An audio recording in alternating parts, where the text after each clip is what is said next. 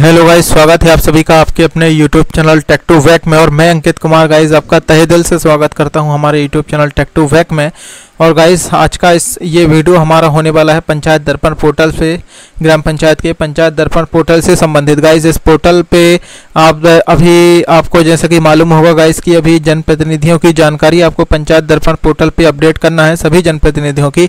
चाहे वे सरपंच महोदय हो, पंच महोदय हो, या उप सरपंच महोदय हो, सभी की जानकारी आपको पोर्टल में अपडेट करना है। उनका वार्ड आपको, नाम, पिता का नाम, मोबाइल नंबर, बैंक की डिटेल, फ़ोटो, ये सारी चीज़ आपको जो है वो प्रोफ़ाइल का पंजीयन इनका हमें करना है। इसी प्रकार जनपद स्तर से भी गाइस सभी वार्ड मेंबर जो जनपद पंचायत के सभी वार्ड मेंबर हैं, उनकी डिटेल अपडेट होगी गाइस उसके बाद इसी प्रकार जिला पंचायत के लॉगिन से जिला पंचायत सदस्यों की अध्यक्ष की उपाध्यक्ष महोदय की सभी की प्रोफ़ाइल इसी तरह से अपडेट हो रही है, क्योंकि इनके यदि शासन को इन्हें किसी भी प्रकार की योजनाओं का लाभ या फिर किसी भी प्रकार के वेतन भत्ते यदि प्रोत्साहन राशि दी जाएगी तो डायरेक्ट उनको बैंक खाते में जो हो वो शासन की तरफ़ से अंतरित कर दी जाएगी। तो इसीलिए गाइज़ यहाँ पर पोर्टल पे जानकारी अपडेट कराई जा रही है।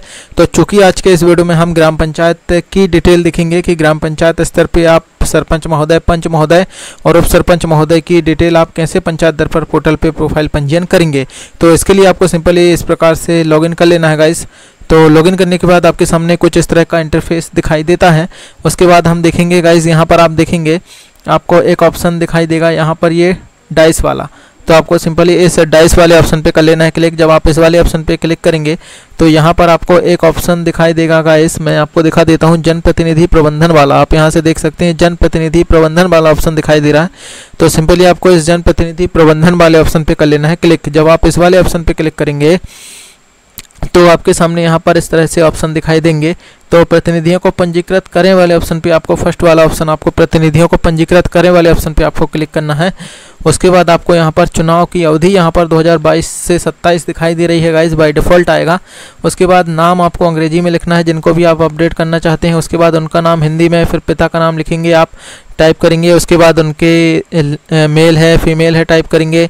उसके बाद S C S T O B C में वर्ग सेलेक्ट करेंगे। पदनाम सरपंच है सरपंच है, पंच है, क्या है? उसके बाद जिनको भी आप ऐड कर रहे हैं, उनका मोबाइल नंबर शैक्षणिक योग्यता कितने पढ़े हैं प्राइमरी है, मिडिल है, हाई स्कूल है, हाई सेकेंडरी है, स्नातक है, जो भी है, कर कर सकते हैं आप दर्ज। उसके बाद आयु आप कितनी ईयर है, आप बर्स में आयु टाइप करेंगे ऐच्छिक वार्ड। क्या वार्ड है गाइस? आप उनका जो भी वार्ड है, आप यहाँ से सेलेक्ट करेंगे। यहाँ पर एक बात याद रखेंगे गाइस, आप सरपंच का वार्ड, बस आपको नो वार्ड वाले ऑप्शन पे करना है क्लिक। यहाँ पर आप देख सकते हैं, कोई वार्ड नहीं है। बाकी सभी का आप सरपंच महोदय का पंच महोदय का आपको वार्ड सेलेक्ट करना है। उसके बाद यहाँ पर फाइनली यहाँ से उनका एड्रेस आपको टाइप कर देना है और उसके बाद प्रतिनिधियों को पंजीकृत करे वाले ऑप्शन पे आपको क्लिक कर देना है। तो चलिए डियर फ्रेंड्स जब आप फाइनली फ़ोटो अपलोड कर देंगे तो फ़ोटो अपलोड करने के बाद जब फ़ोटो अपलोड सक्सेसफुली हो जाएगी तो इस तरह से आप देख सकते हैं, यहाँ पर आपको फ़ोटो जो है वो शो होने लगेगी। इसके बाद यहाँ की कहानी फ्रेंड्स हमारी हो गई है ओके इसके बाद आपको क्या करना है? इसके बाद आपको दूसरी चीज़ करना है फ्रेंड्स दूसरी चीज़ आपको क्या करना है? आपको फिर से इसे बैक करना है और बैक करने के बाद अब हमें जो है वो बैंक का विवरण अपडेट करना है जनप्रतिनिधियों का।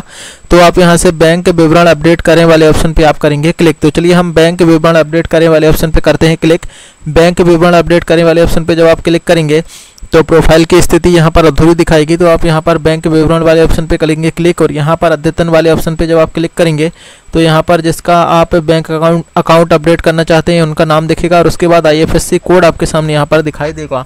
तो चलिए हम आईएफएससी कोड यहाँ पर से टाइप कर लेते हैं फ्रेंड्स आईएफएससी कोड टाइप करने के बाद आईएफएससी कोड हमने टाइप कर दिया है। उसके बाद हम क्या करेंगे गाइस यहाँ पर आप देखेंगे बैंक खाता संख्या हम यहाँ पर टाइप करेंगे। उसके बाद बैंक खाता विवरणी विवरणी का फिर आप रे टाइप करेंगे बैंक खाता।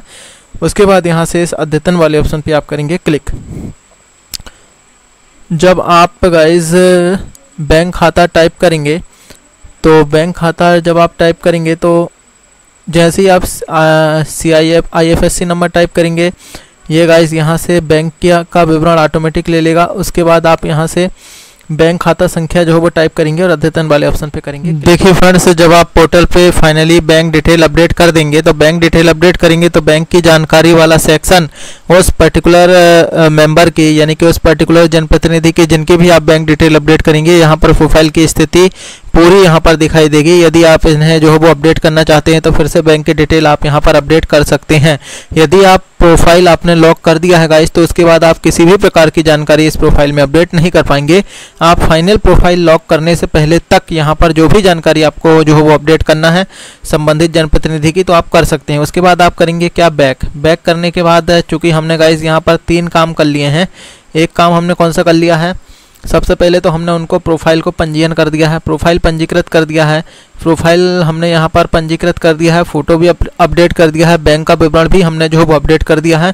उसके बाद अब आप प्रतिनिधि की प्रोफ़ाइल लॉक करने वाले ऑप्शन पे करेंगे, क्लिक। तो चलिए हम प्रतिनिधि की प्रोफ़ाइल लॉक वाले, करने वाले ऑप्शन पे हमने कर दिया है, क्लिक। यहाँ पर आप देख सकते हैं किनकी जो है वो प्रोफ़ाइल हम व्युत्पत्ति की पहचान लॉक करें। यानी कि जो भी पर्सन है गाइस वॉट जो भी होंगे आपकी पंचायत में जनप्रतिनिधि, उनकी प्रोफ़ाइल जो है वो जनप्रतिनिधियों की प्रोफ़ाइल यहाँ पर आप देख सकते हैं लॉक करने वाला ऑप्शन आ रहा है। तो एक एक की प्रोफ़ाइल आप लॉक कर सकते हैं। मैं यहाँ पर सबसे पहले सरपंच महोदय हैं, इनकी प्रोफ़ाइल को लॉक करूँगा। तो प्रोफ़ाइल लॉक करने वाले ऑप्शन पे आपको करना है क्लिक प्रोफ़ाइल लॉक करने वाले ऑप्शन पे क्लिक करने के बाद गाइज़ यहाँ पर आप उस पर्टिकुलर डिटेल में किसी भी प्रकार का कोई अपडेशन नहीं कर पाएँगे। आपको एक बार रीचेक कर लेना है। सारी डिटेल जो है वो ठीक से फिल है या नहीं है, उसके बाद आपको क्या करना है प्रोफ़ाइल लॉक करने वाले ऑप्शन पे कर देना है क्लिक तो चलिए हमने प्रोफ़ाइल लॉक करने वाले ऑप्शन पे कर दिया है क्लिक यहाँ पर आप देखेंगे जनप्रतिनिधियों की लॉक करें. लॉक करें लॉक करने के बाद जानकारी में संशोधन नहीं किया जाएगा। तो एक बार लॉक कर दिए तो फाइनली लॉक हो जाएगी। उसके बाद चलिए हम इससे लॉक करने वाले ऑप्शन पे कर देते हैं क्लिक तो हमने लॉक करे वाले ऑप्शन पे क्लिक कर दिया है तो यहाँ पर आपको दिखाई दे रहा है प्रतिनिधि प्रोफ़ाइल सफलतापूर्वक लॉक कर दी गई। अब आपको यहाँ पर करना है क्या? बैक बैक करेंगे तो आप, अब आप जनप्रतिनिधि पंजीयन वाले ऑप्शन पर देखेंगे।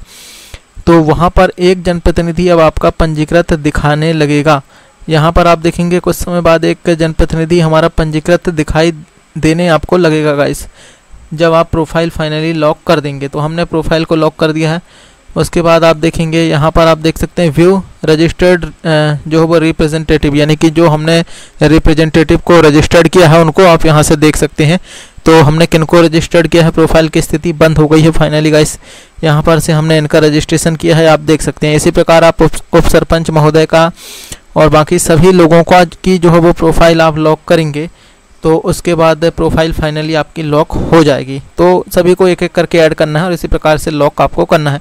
तो प्रैक्टिकल के लिए मैंने एक की डिटेल आपको लॉक करके बताया गाइस उम्मीद करता हूँ आपको वीडियो में जानकारी समझ में आ गई होगी। और वीडियो में यदि आपको कोई भी शंका है या किसी विषय पर आपको जानना है तो आप मुझे कमेंट कीजिएगा। मैं उसका जवाब आपको कमेंट बॉक्स में ज़रूर दूँगा। और गाइस हमारे इस चैनल को सब्सक्राइब किए बिना आप बिल्कुल नहीं जाइएगा। सब्सक्राइब कीजिएगा ताकि आपको इसी तरह की वीडियो सबसे पहले मिल सके। धन्यवाद।